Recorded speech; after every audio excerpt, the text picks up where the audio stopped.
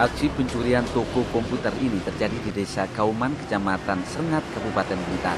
Dalam rekaman CCTV, terlihat dua orang pencuri masuk ke dalam toko komputer dan langsung melakukan aksinya dengan memotong kunci lemari kaca yang berisi puluhan laptop dan tablet menggunakan gunting besi. Pelaku mengambil laptop, kemudian memasukkan ke dalam karung dan diserahkan kepada pelaku yang menunggu di luar toko. Usai mengambil puluhan laptop dan tablet, kedua orang pelaku kembali masuk ke dalam toko untuk membawa kabur sebuah sepeda motor yang berada di dalam toko. Namun tiba-tiba mereka mengurungkan aksinya tanpa sebab yang pasti. Polisi yang datang ke lokasi toko Kersajaya Komputer ini langsung melakukan olah tempat kejadian perkara.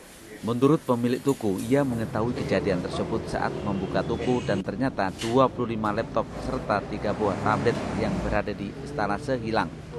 Untuk laptop yang hilang ada berapa buah? 20-an lebih Nah, kira-kira total berapa kerugian mbak? banyak kerugiannya. Ratusan sampai Tidak, enggak sampai Pak. Di 60-an. itu yang hilang apa aja sih mbak? Laptop, laptop Laptop. sama tablet. Kalau peristiwa itu diketahui pukul berapa? Dengan ngerti ini Jam jam empat. piro?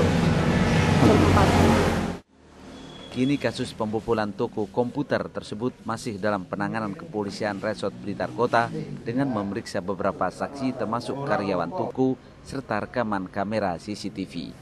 Dari Blitar, Canda di Surya melaporkan.